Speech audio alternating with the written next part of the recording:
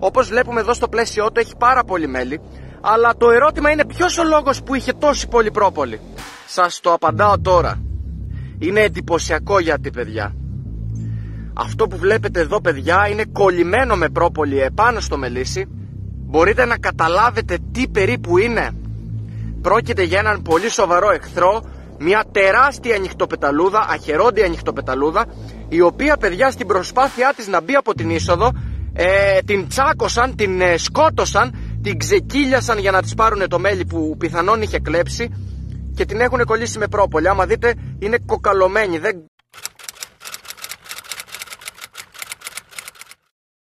Όλοι ρωτάτε πού βάζουν το μέλι μέλισσες και η απάντηση βρίσκεται εδώ. Όλο αυτό παιδιά είναι φρέσκο μελάκι που έχουν βάλει μέλισσες και τώρα θα κάνω κάτι μαγικό. Δείτε πως βγαίνει το μέλι παιδιά.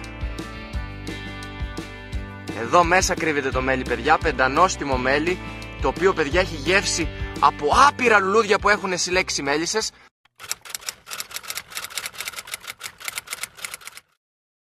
Την έχω πιάσει στα χέρια μου και θα κάνω ένα πείραμα να δω αν θα με τσιμπήσει το κεντρί της.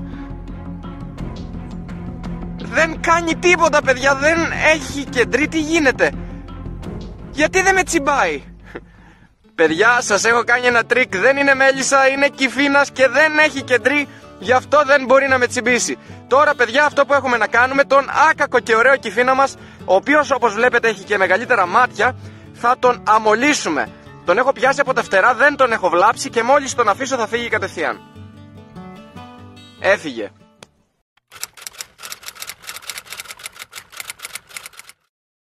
Μέλι παιδιά είναι από άπειρα φρέσκα λουλουδάκια, έχει εξαιρετικό άρωμα. Απλώς σήμερα θέλω να το δοκιμάσω, να δούμε τι γεύση έχει. Έρνω ένα κομματάκι με κυρίθρα παιδιά τώρα για να το δοκιμάσω. Εδώ παιδιά έχω το μελάκι και τώρα θα δω τι γεύση έχει αυτό το εκπληκτικό προϊόν που παράγουν οι μέλισσες σε αυτό τον υπέροχο πράσινο τόπο εδώ παιδιά.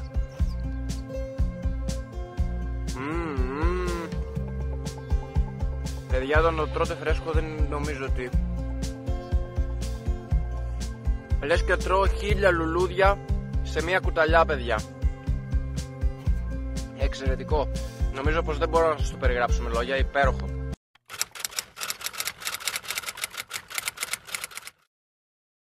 Όποιος παιδιά μπαίνει μέσα στο μελίσι για να κλέψει μέλι, αυτά παθαίνει. Εδώ βλέπουμε παιδιά μια τεράστια ανοιχτοπεταλούδα, αχερόντια ανοιχτοπεταλούδα. Να φανταστείτε ότι έχει και μια νεκροκεφαλή στο κεφάλι της όταν ε, είναι ζωντανή, η οποία μπαίνει παιδιά για να κλέψει το μέλι στην ε, κυψέλη και το αποτέλεσμα είναι αυτό όταν την τσακώνουν οι μέλισσες. Εδώ βλέπουμε ότι την έχουν περάσει με πρόπολη, την έχουν κινητοποιήσει, την έχουν σκοτώσει και άμα δείτε είναι κολλημένη, σας το έχω δείξει και σε προηγούμενο βίντεο Δείτε πόσο μεγάλη είναι παιδιά, κυριολεκτικά τεράστια. Γεμάτη με πρόπολη είναι. Δείτε πώς την έχουν κάνει. Αυτή η πεταλούδα έκλεψε το μέλι της και το πλήρωσε πολύ ακριβά τελικά.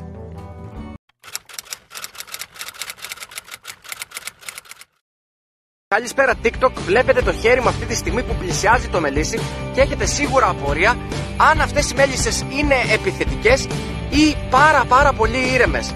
Κάποιος και μόνο που το βλέπει αυτή τη στιγμή φοβάται, όμως η αλήθεια είναι ότι οι μελισσούλες, παιδιά, είναι πάρα πάρα πολύ καλές. Η μέλισσα είναι ένα μαγικό έντομο, παιδιά. Καμία σχέση με οποιοδήποτε άλλο. Δείτε ότι τη πειράζω αυτή τη στιγμή. Το δάχτυλό μου είναι μέσα στο μελίσι. Ακόμα και το χέρι μου να βάλω, παιδιά, δεν με τσιμπάνε. Η μέλισσα είναι ένα μαγικό έντομο, σας το έχω πει χίλιες φορές, παιδιά.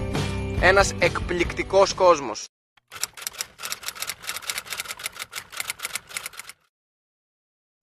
Τι κάνεις αν σε τσιμπήσει μία μέλισσα; Ενός λεπτού σιγή, παιδιά, για τη μελισσούλα που χάθηκε. Όχι, πλάκα κάνω. Σίγουρα θέλει ενός λεπτού σιγή γιατί χάθηκε μια ζωή. Πράγματι, παιδιά, οι μέλισσες όταν μας τσιμπάνε χάνουν τη ζωή τους και ο λόγος που χάνουν τη ζωή τους είναι επειδή μαζί με το κεντρί χάνουν και σημαντικά μέρη του σώματός τους. Οπότε, ε, αν σε τσιμπήσει μια μέλισσα, αυτό που έχεις να κάνεις είναι να βάλεις λίγο ξύδι γιατί βοηθάει πάρα πολύ σύμφωνα με την δική μου εμπειρία. Και έχετε πολλά χαιρετίσματα από τις μελισσούλε μας.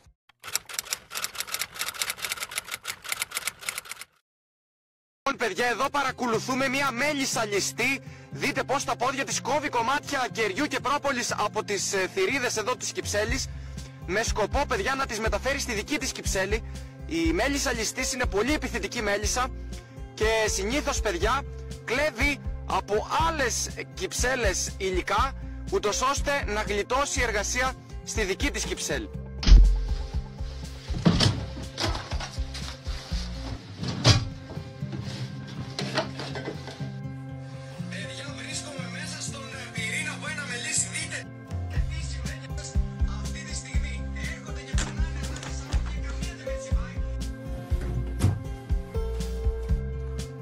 Παιδιά, βρίσκομαι μέσα στον ε, πυρήνα που ένα μελίσι.